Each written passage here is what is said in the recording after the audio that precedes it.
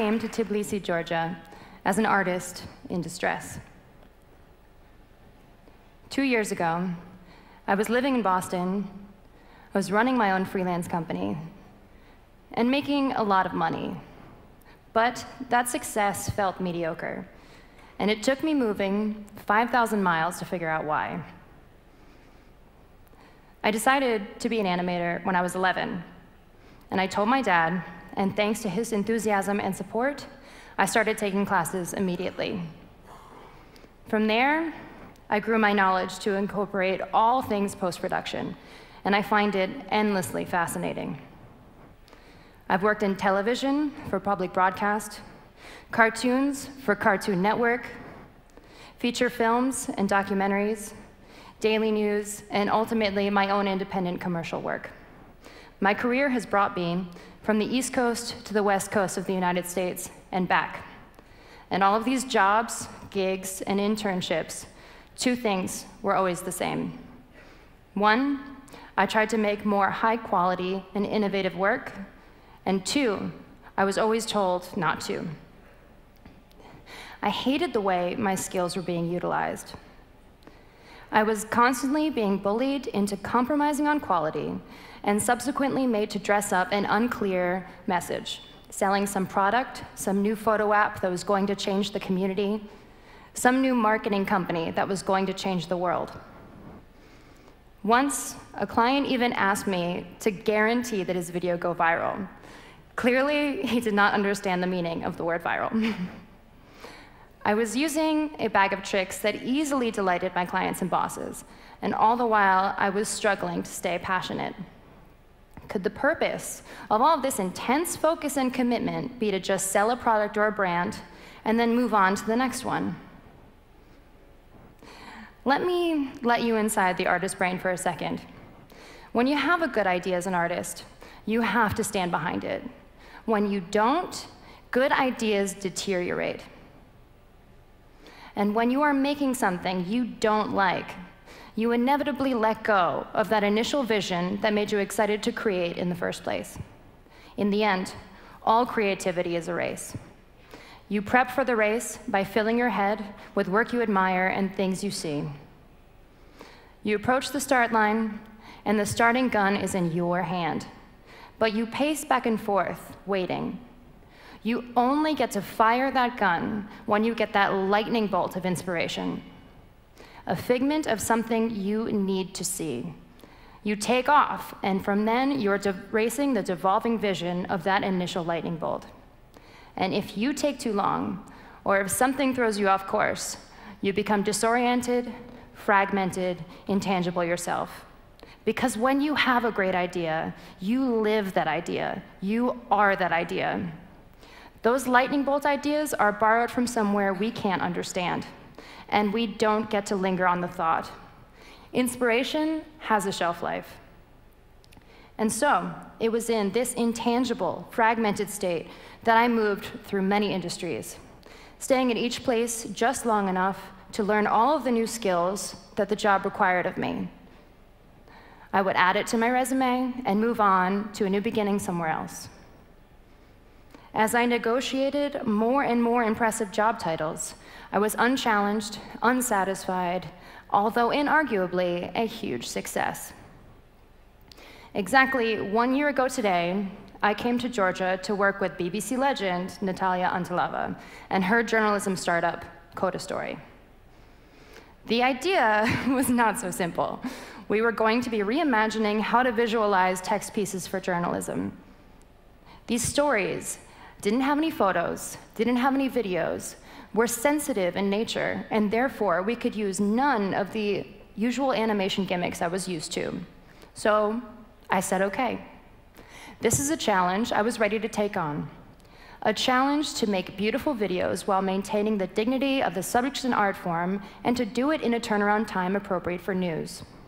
Typically, one of our animations can be made in a week, from scripting to final deliverable, two days of which are actual animating. That is a very fast turnaround time. There was the added hurdle of finding a way to reach people without using my usual gimmicks. a carefully built tool set of canned visual concept that sparkled, shined, and awed clients pretty easily, without a lot of effort on my part. But it's just not appropriate for the subject matter. And so, we got to work. And some of our first stories were about LGBTQ rights in the region.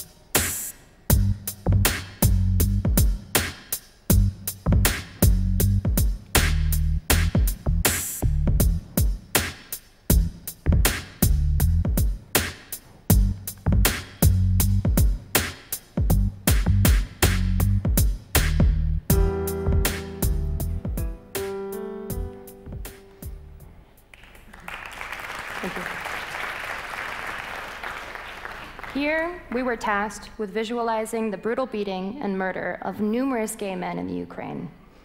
Now, there's nothing funny about that. There's nothing cute about that. It's not a cartoon. It's a serious piece of journalism. We started with toe tags and body bags for drama, and then evolved our idea to something more tasteful and just as powerful. But it took a lot of effort to get it right, and many over dramatized concepts. And it's important, not just for the men that have been hurt or killed. It's important for an entire region miscategorizing sexual preference as evil. I got to visualize this story in a way that I think is beautiful, ethical, and respectful to all subjects involved. We've made video after video like this, visualizing brutal, cruel, or unbelievable stories with as much honesty and respect as possible.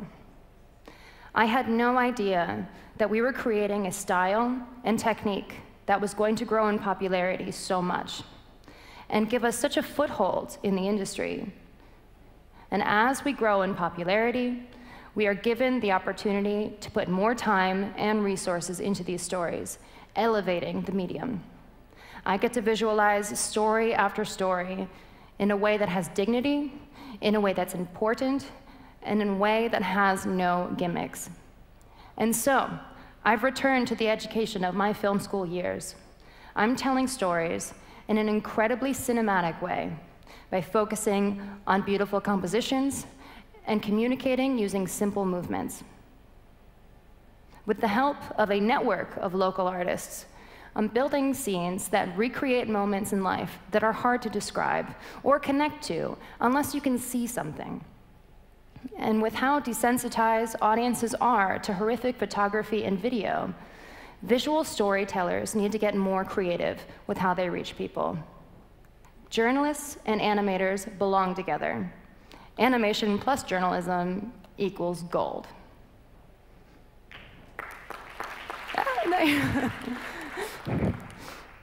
As it turns out, not a lot of news companies are doing this. For some reason, there's the if it's not broken, don't fix it argument. They have plenty of readers, so why risk wasting resources on a pricing gamble to reach new audiences? Unfortunately, attention spans are shortening, and, our, and audiences are getting desensitized to familiar formats. That's why journalism has to be right at the forefront of visual storytelling. Right there with the movies, the tech companies, and video games. We can't be chasing an audience that has already moved on to something cooler. If we want to change minds, we need to be brand new. So, I'd like to ask those of you in journalism a question.